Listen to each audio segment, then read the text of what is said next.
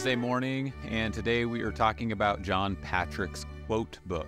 As John has often said, something along the lines of if somebody has said it well, you have no excuse for saying it poorly. This is also something that John has given to his children, and he has written in it and then let them finish and filled it up. I've always liked remembering things that were said well. That's why I like poetry, uh, which most people don't have a taste for these days. I did start writing them down in a book. And this is the third one. I lost one in the University of Michigan some time ago. And I've built one other and then lost that too. But by the time I lose it, I know most of them anyway. Uh, I gave my children one of these books when they started asking serious questions, uh, which was usually around 11 or 12. And I would fill the first 20 pages of uh, the book with favorite quotations of mine. Uh, this one was given to me by my daughter, who uh, who uh, shared with me. We both love Gerard Manley Hopkins' poem, "As kingfishers catch fire, dragonflies draw flame." Um, so that's the opening page in her quotation book and in mine. Um, uh, but uh, so I, I, did that, and they all got the habits, uh, especially my son, who's uh, the professor in the family. Uh, he went off and did his undergraduate degree in combined arts and sciences at the University of McMaster, where uh, Western civilization was taught by a wonderful Jewish lady. And uh, at the end of the year, she gave him an A plus and said, uh, "Jonathan, I will miss your essays next year.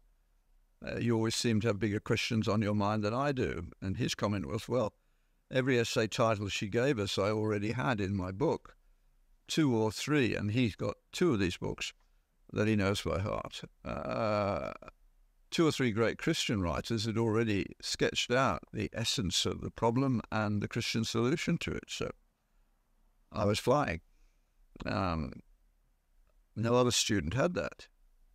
Let me give you an example. I have to have a, uh, a look on which page it is to uh, be able to get it right for you. Uh, here's a, a very famous one. Uh, and I will read it to you. And while I'm reading it to you, I would like you to be thinking, when was this written? And uh, I will be surprised if you get it right. Christianity, and that is its greatest merit, has somewhat attenuated that brutal German love of war, but could not destroy it.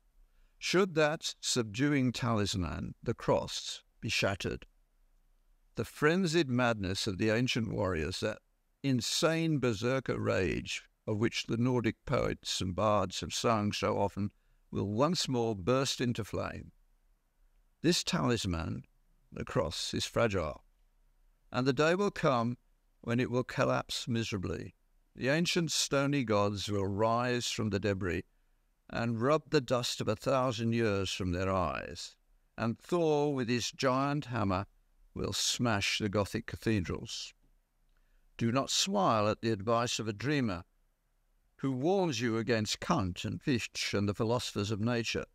Do not smile at the visionary who anticipates the same revolution in the realm of the visible that has already taken place in the spiritual. Thought precedes action as lightning precedes thunder.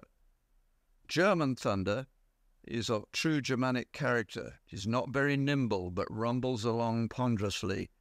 Yet it will come, and when you hear a crashing such as never before been heard in the world's history, then you will know that the German thunderbolt has fallen at last.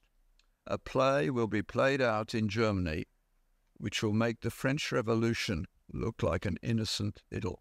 Well, you would all all agree that that's a pretty good description poetically of, of the Second World War. But it was written in 1834 by a Jewish guy, Heinrich Heine, That's prophecy from a secularist who understood. The best secularists do understand. So anyone who says to you, prophesy never happens, show him that.